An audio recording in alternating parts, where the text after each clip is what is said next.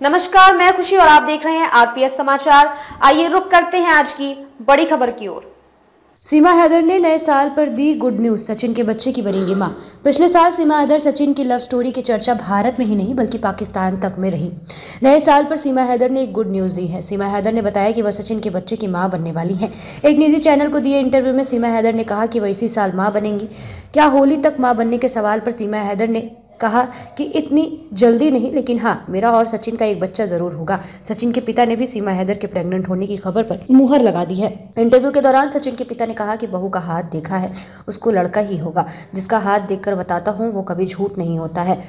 सीमा हैदर ने कहा कि वो खुद चाहती है उनका और सचिन का एक बेबी हो। पबजी खेलते हुए सचिन को पाकिस्तान की लड़की सीमा हैदर से प्यार हो गया था। पिछले साल सीमा हैदर अपने बच्चों के साथ नेपाल पहुँची थी। यहाँ सचिन और सीमा हैदर ने एक मंदिर में शादी कर ली थी। इसके बाद दोनों सचिन के गाँव पहुँचे थे। सीमा हैदर पर आईएसआई एजेंट तक के आरोप लगे थे, लेकिन जाँच के बाद सीमा हैदर को क्लीन चिट दे दी गई थी। सीमा हैदर के पहले पति गुलाम हैदर से चार बच्चे हैं। सीमा सभी बच्चों को लेकर पाकिस्तान से भारत आई थी। खबरों में अब तक के लिए बस इतना ही। फिर होगी आपसे मुलाकात, ऐसी ही एक और बड़ी खबर के साथ। तब तक के लिए नमस्कार और देखते रहिए आरपीएस समाचार। ऐसे ही लेटेस्ट अपडेट्स के लिए हमारे चैनल आरपीएस समाचार को सब्सक्राइब करें और तुरंत नोटिफिकेशन पाने के लिए बेल आइकन प्रेस करना ना भूलें। अगर आपको हमारी खबर पसंद आई हो तो इसे ज़्यादा से ज़्यादा लोगों तक ज़रूर पहुंचाएँ।